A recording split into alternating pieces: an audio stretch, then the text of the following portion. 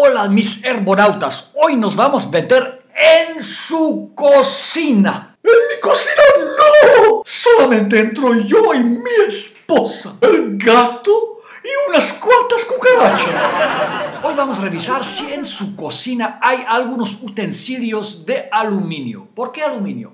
Antes se pensaba que el aluminio era buenísimo, que era inacabable, no se rompía, no se la acababa, era muy fácil de limpiar es una maravilla. Pero hoy sabemos que cuando cocinamos en el aluminio, quedan pequeñas partículas de aluminio dentro de la comida y nos lo comemos. Yo tengo un sartén buenísimo, me lo dio mi mamá. ¿Cómo lo voy a tirar?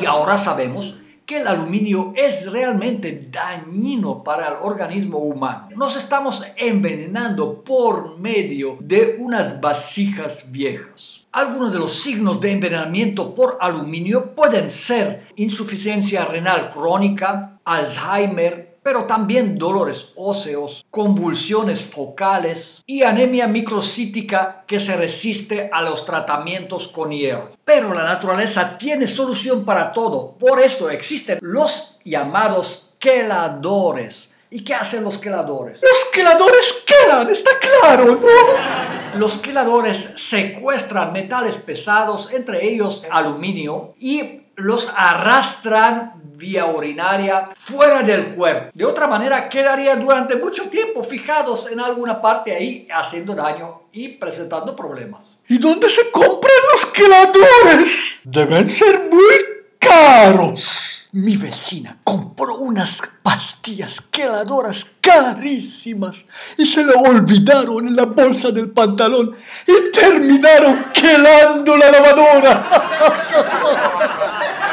Hay muchas sustancias vegetales queladoras, pero hoy se reconocen tres elementos químicos muy importantes en cuanto a contrarrestar la toxicidad de aluminio. Es ácido ascórbico, quiere decir vitamina C, calcio y sílice. Vamos a buscar en qué plantas se encuentran estos elementos en abundancia. El ácido ascórbico lo podemos encontrar en guayaba principalmente y también en el chile. El calcio lo podemos conseguir en valeriana o también en el diente de león. Y existen otros queladores muy potentes, por ejemplo, el ajo, el nopal, cilantro y vinagre de manzana. Utilizando estos productos podemos mezclarlo en ensaladas de diferentes formas y de esta manera prevenir la acumulación de aluminio en nuestro cuerpo. Porque el aluminio también lo podemos acumular de otra manera simplemente aspirando o tocando pinturas hechas en base de aluminio, por ejemplo. Y otro que se me olvidaba es el lúpulo. Quienes toman de vez en cuando un poco de cerveza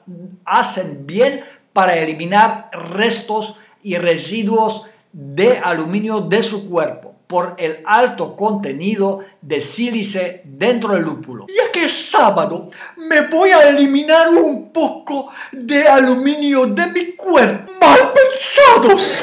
Preparando una excelente ensalada de nopal con ajo. Mm, adiós. Si llegaste hasta aquí y no te dieron convulsiones focales o no caíste en una demencia irreparable, inscríbete a mi canal, ponle like y recomiéndalo a todos quienes viven bajo peligro de contaminarse con aluminio. Adiós.